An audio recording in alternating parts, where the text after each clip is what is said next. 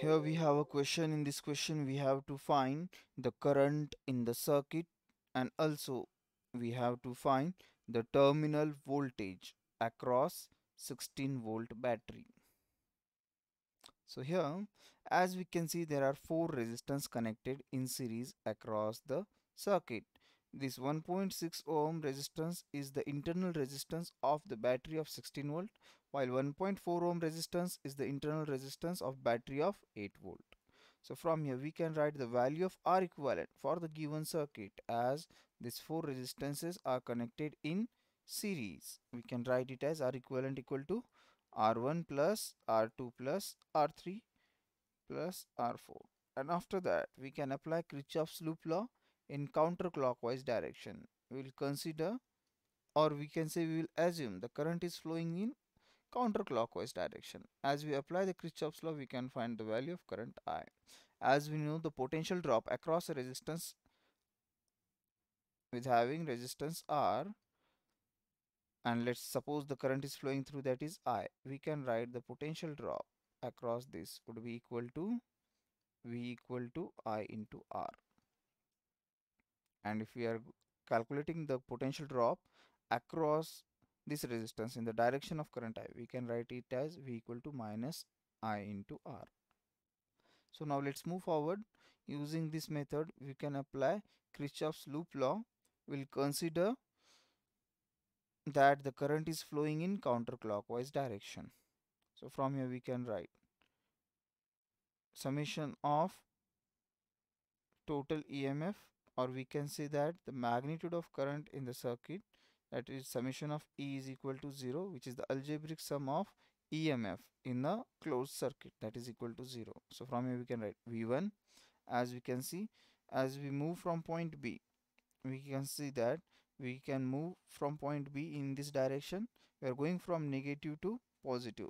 There's a potential increase of 16 volt which is V1 minus I into R1 plus R1 plus R2 plus R2 minus of V2.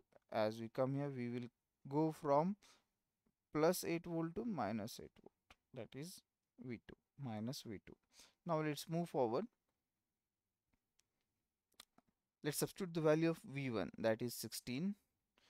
The value of current I we are going to calculate and the value of R1 which is 1.6 ohms value of capital R1 which is 5 ohms, value of small r2 which is 1.4 ohms and the value of capital R2 which is 9 ohms and the value of V2 that is given to us which is 8 volt as we can see here.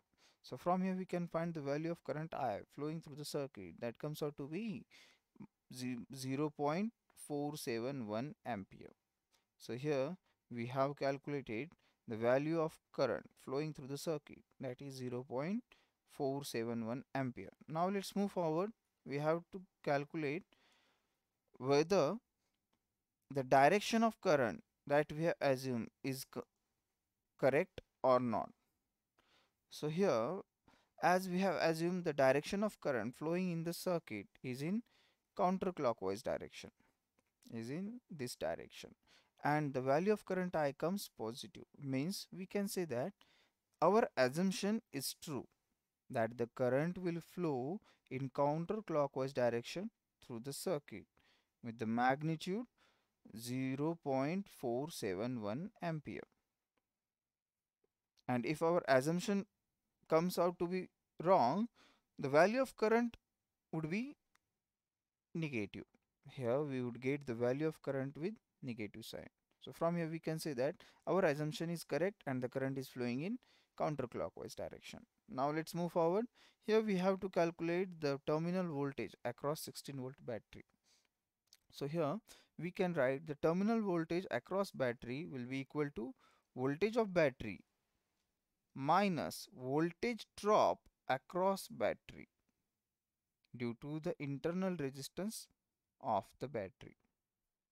So from here we can calculate the terminal voltage of any battery. So here as we can see we can write VAB equal to VA minus VB. Here VA is the voltage at point A and VB is the voltage at point B. So now let's write the uh, internal due to this voltage due to this resistance R1 there would be a potential drop that is I into R1 so from here we can write VAB equal to voltage of battery which is 16 volt minus voltage drop I into R1 so as we substitute the value the terminal voltage across the battery comes out to be 15.2 volts. Hence we have calculated the value of current I flowing through the circuit that is 0.471 ampere in counterclockwise direction in the circuit and the voltage means the terminal voltage across this battery of 16 volt that comes out to be 15.2 volt. Thank you